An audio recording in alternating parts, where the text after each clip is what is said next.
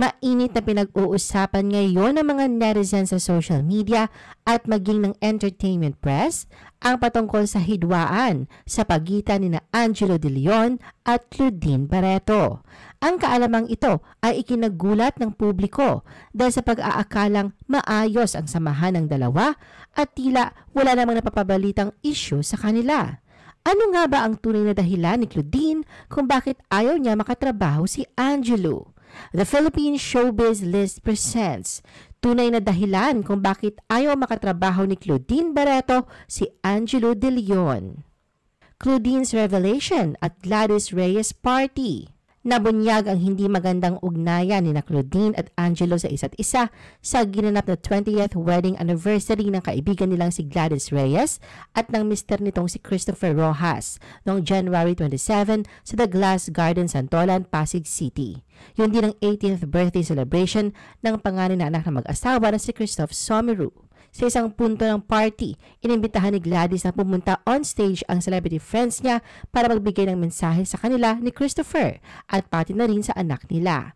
Nauna si Vice Ganda sa first batch ng mga artistang nagbigay ng mensahe. At sa second batch, si Claudine ang unang tinawag ni Gladys. Unang napag-usapan ng dalawa ang tungkol sa tatapos sa drama series si Claudine sa GMA7, ang Lovers and Liars. At pagkatapos ay nasambit ni Gladys ang tungkol sa reunion movie na gusto niyang gawin kasama sina Claudine at Judy Ann Santos. Masaya itong tinugunan ni Claudine sa pagsasabing i-manifest nila ang pelikula kasama si Juday. Nang matanong naman ni Gladys si Claudine kung game ba ito kung matutuloy ang reunion project nila with Juday and Angelo, halata nagbago ang timpla ni Claudine. Kalmado, pero diretsahang sinagot ito ni Claudine ng no, no, no. Anya tanging si Gladys at Juday lang ang gusto niyang makatrabaho at binigyang diin na hindi kasama si Angelo. Mababakas naman sa reaksyon ni Gladys ang pagkabigla sa binanggit ni Claudine at walang kaide-ideya sa nangyayari. Kaya naman upang makasigurado na baka nagbibiro lang pala ito, tinanong muli niyang kaibigan kung totoo ba ang sinasabi nito. Hindi naman nagpaligoy-ligoy pa si Claudine at kinumpirma ang sinabi niyang ayaw niyang kasama si Angelo sa reunion movie na gagawin nila. Silang tatlo lang daw dapat. Nagtatakang tinanong muli ni Claudine si Gladys kung bakit sinali pa nito si Angelo. Halatang nabigla si Gladys sa sinabi ni Claudine kaya medyo nataranta siya sa susunod niyang sasabihin. Magsasalita pa sana si Claudine pero pinigilan siya ni Gladys at kapansin-pansin ang pagbaba nito sa kamay ng kaibigan na may hawak na mikropono para hindi na makapagsalita ng kung ano-ano. Pilit ng iniba ni Gladys ang usapan at takwelang sinabihan si Claudine na loka-loka. Hindi pa rin nagpaawat si Claudine at napapangiting hiniritan si Gladys dahil sa wala na itong masabi at nilinaw na mga nabanggit niya ay totoo. Muling giniit niya na sina Gladys at Juday lamang ang gusto niyang makasama. Halata namang naiipit si Gladys sa naturang sitwasyon na tawa lang ng tawa at saka may panunoksong sinabihan na lang si Claudine na ang suplada na nito ulit. Tinanggi naman ni Claudine na nagsusuplada siya at nagsasabi lang daw siya ng totoo. Iniiwas na ni Gladys ang issue nang humirit ulit ito kung ayaw ba ni Claudine na isama si Nawawi de Guzman at Vong Navarro.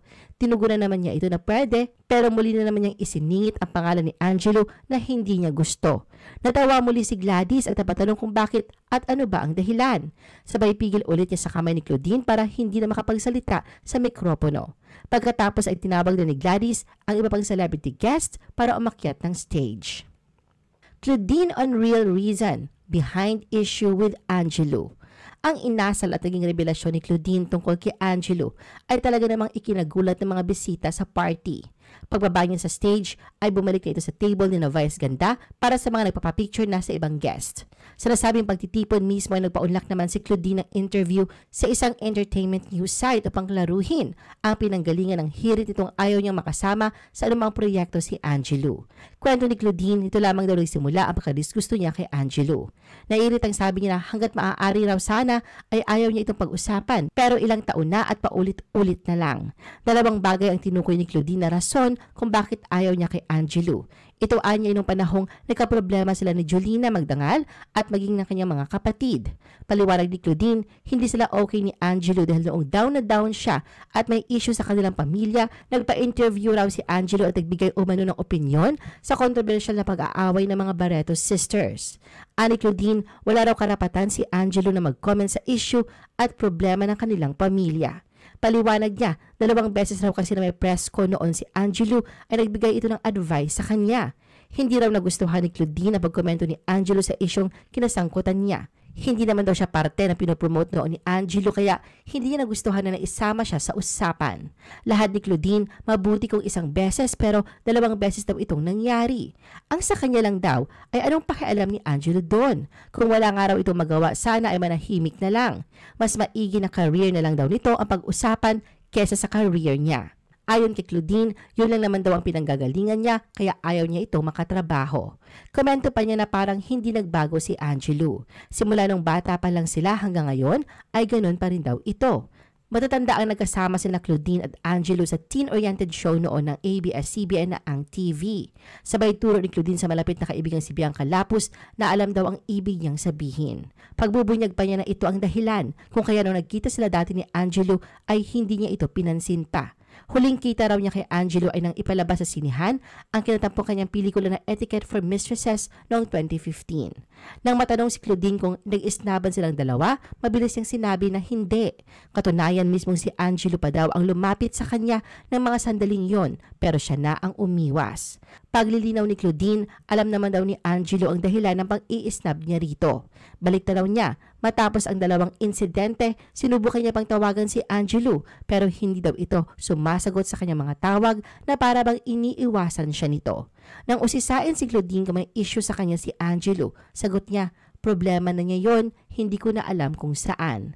Nang matanong naman kung malapit ba si Angelo sa kanyang mga kapatid tulad ni Marjorie Barreto, ayon kay Claudine, hindi dahil hindi naman daw ito kilala ng mga kapatid niya.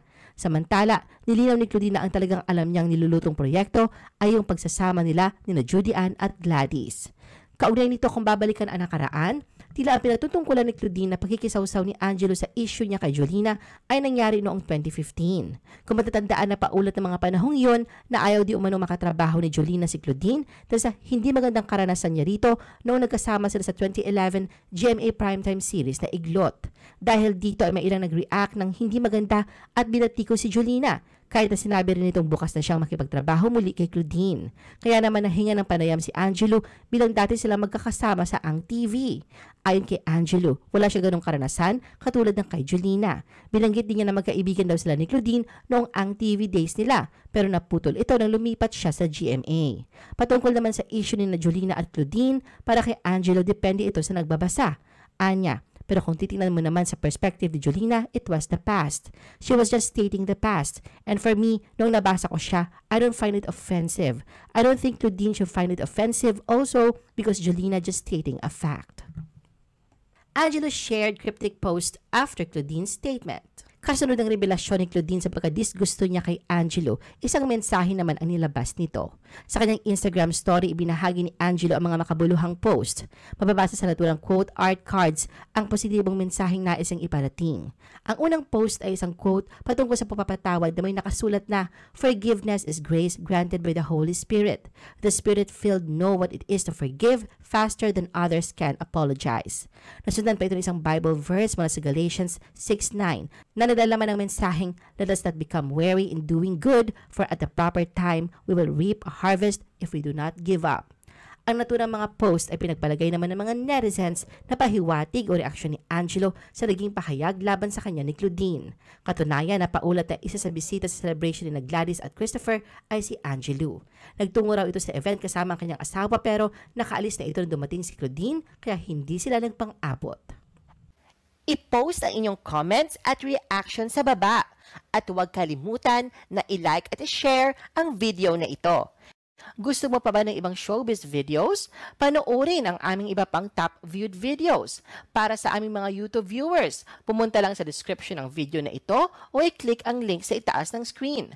Para naman sa mga Facebook viewers, ay maaari ninyong hanapin ang mga link sa comment section ng video. I-follow nyo din kami sa Facebook at mag-subscribe sa aming YouTube channel. Thanks for watching!